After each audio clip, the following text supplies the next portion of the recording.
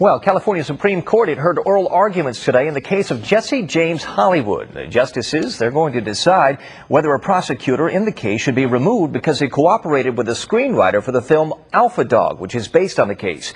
The justices appear to be weighing whether to set a broad set of standards on how much information prosecutors can reveal. Hollywood is accused of orchestrating the 2000 kidnapping and murder of a 15-year-old, of course, Nicholas Markowitz in Santa Barbara.